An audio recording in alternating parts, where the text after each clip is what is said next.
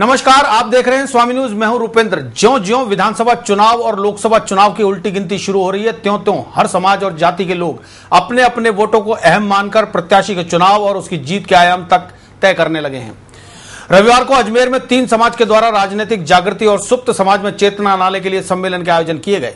स्वर्णकार समाज में राजनीतिक जागृति और सामाजिक चेतना लाने के लिए एक दिवसीय महासम्मेलन का आयोजन जवाहर रंगमंच पर रविवार को संपन्न हुआ। सुबह नौ बजे नया बाज़ार से स्वर्णकार समाज ने चुनावों से पूर्व शक्ति प्रदर्शन करते हुए वाहन रैली निकाली। इसके बाद जवाहर रंगमंच पर महासम्मेलन का आयोजन किया गया।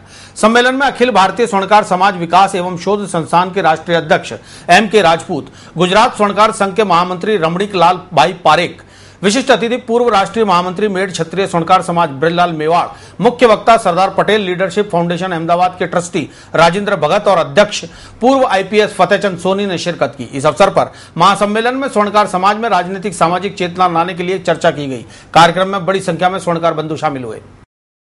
जो डेढ़ सौ वर्ष पूर्व जो धारा चार सौ ग्यारह, चार सौ बारह लगी थी, उसको हटाने के लिए, उसमें संशोधन करने के लिए हम काफ़ी समय से प्रयास कर रहे हैं। इसकी राजनीतिक जागृति के लिए हम प्रयास कर रहे हैं।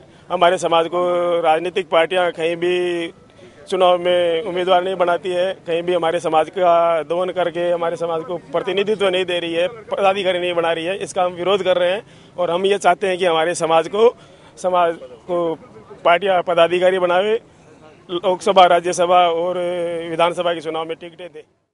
इस कार्यक्रम का या हमारे को सही जवाब सरकार द्वारा या अन्य राजनीतिक पार्टी द्वारा नहीं दिया जाता है तो ये आंदोलन का रूप लेगा।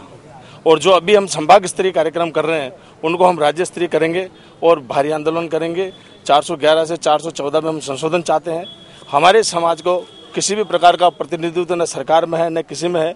जिस प्रकार कुंभकार बोर्ड, चर्मकार बोर्ड बने हुए हैं उसी तरह हम चाहते हैं कि स्वर्ण रजत का बोर्ड बने और उस बोर्ड का चेयरमैन भी स्वर्णकार हो, ताकि स्वर्णकारों की समस्या को समझा जा सके।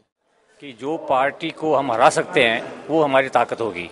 क्योंकि एक ही वोट के आधार पे कोई भी एमएलए हार सकता है, कोई एमपी हार सकता है।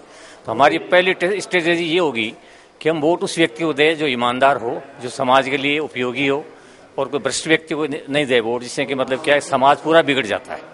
तो इसके लिए एक कोर कमेटी बनेगी और कोर कमेटी में राजस्थान की जितने भी संस्थाएँ हैं स्वर्णकारों की, उनके अध्यक्ष, उनके मेंबर होंगे और कुछ और नॉमिनेटेड मेंबर्स होंगे अलग अलग जिलों से।